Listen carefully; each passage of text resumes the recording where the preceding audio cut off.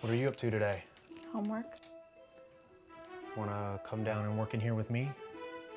Give us a chance to catch up? No. Bernadette, wait. I've given him 16 years of chances. Then what's a few more?